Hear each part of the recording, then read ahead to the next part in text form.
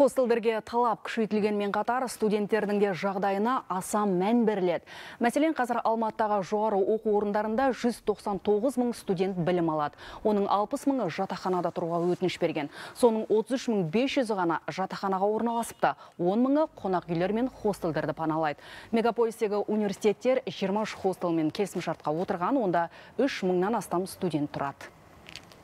Городе Алматы Ресми мәліметтер бойынша Алматыда 200-ге жуық хостел тіркелген. Қаладағы университеттер оның 23-мен меморандумға отырған. Тек соларда ғана студенттердің қауіпсіздігі қадағаланады. Бұл жерде бір нәрсені түсініп алған жөн. Жоғары оқу орындары студенттерге хостелді тұруға кеңес қана бере алады. Мәжбүрлей алмайды. Таңдау студенттердің өзінде. Сондықтан неге студенттер жуырда апат болған хостелде тұруға мәжбүр болды деген сұраққа жауап беру қиын. Университеттер жалдайтын хостел мен өрт болған хостелдің жалдау ақысын салыстырсақ, айырмашылық жоқ.